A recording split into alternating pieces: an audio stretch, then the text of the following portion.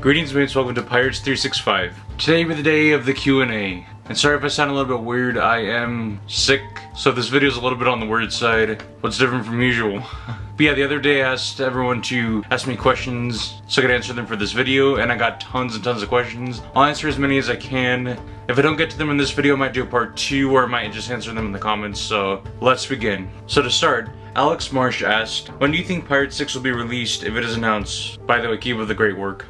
My guess is if they do a Pirate 6, it would probably be in the 2020 to 2022 range. Gives them enough time to do a script, to put everything together. There was a six year gap in between on Stranger Tides and Dead Men, so I think like a four or five year gap might be more likely for the next film. We'll see. Alex Sparrow asked, do you think Angelica should come back in Pirates 6? Yes, I do think Angelica should come back in Pirates 6. I want her story to be wrapped up, just like Will and Elizabeth's story was wrapped up in Pirates 5. I'd love to see her come back to try to get revenge on Jack. I'd love to see her bring back the voodoo doll and I'd like to have some resolution on her side. Maybe she tries to get revenge on Barbossa, but she finds out he's dead, and then she finds Karina as his daughter, so maybe she tries to get revenge on Karina. I think it'd be interesting to bring her back, so I really want to see her in Pirate 6. Daniel uh, Danger asked, Do you think the redhead changes will be a little bit different in our Disney parks? So in Disneyland and Disney World? I think it might be a little bit different. If you take a look at the Jack and Barbossa figures from Disneyland, Disney World, Tokyo, and now Paris, they're all a little bit different, so I think her costume might be a little bit different, the scene might play out a little bit different.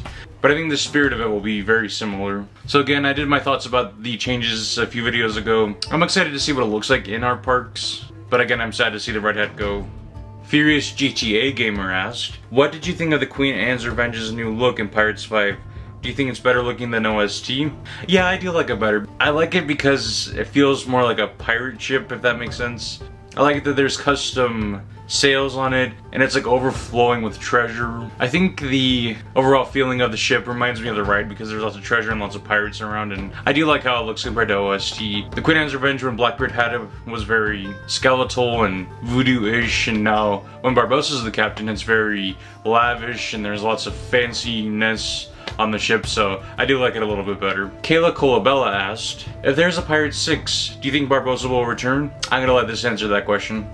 Over the past while, I've been picturing Barbossa in Pirate 6, if there is one, in his normal pirate garb. But I see him as captain of a ship in the mist, and I see the Black Pearl going through these waters, and I see the crew looking over and seeing Barbossa on the ship. In all seriousness, I really would like to see Geoffrey Rush return in some form. There was a Russian comic that was posted on this Russian blog that I follow for Pirates, showing the end of Pirates 5, and it shows Jack going into like the captain's quarters of the Black Pearl, and we see Ghost Barbossa there with an apple. I think that'd be a really fun scene to see play out in Pirate 6 somehow. If Davy Jones really is coming back to the franchise, it'd be funny to see dead characters returning to the sea, maybe as hallucinations for the characters. I think in some form, Geoffrey Rush should come back. I know a lot of people say no, he's dead.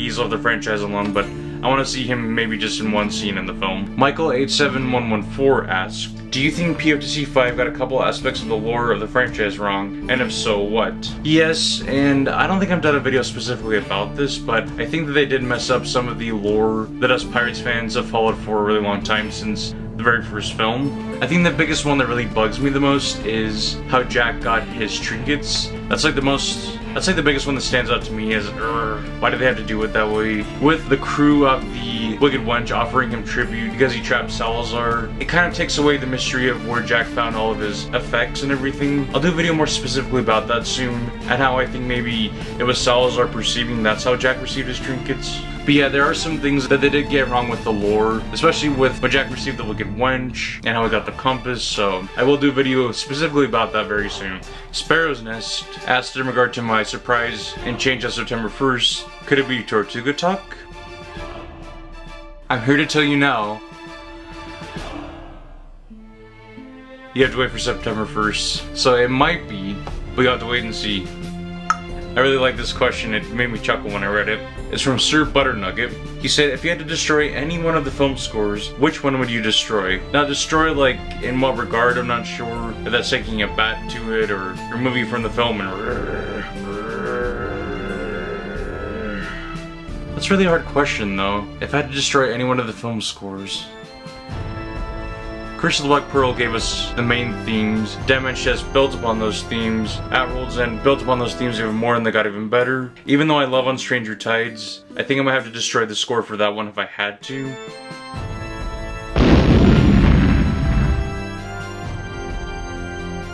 It's because there's a lot of unoriginality on the soundtrack, a lot of repeated themes come up in the soundtrack, and I know a lot of fans have that same feeling.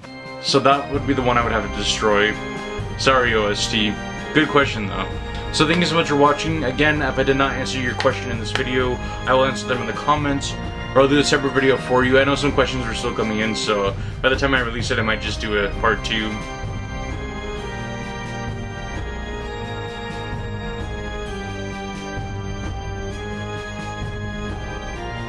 Thank you so much for watching and being dedicated to this channel and to me. I feel like we're all friends and we get to know each other better with each video that I do. I will see you soon with a brand new video. And remember, it's a pirate's life for me. Tom mates.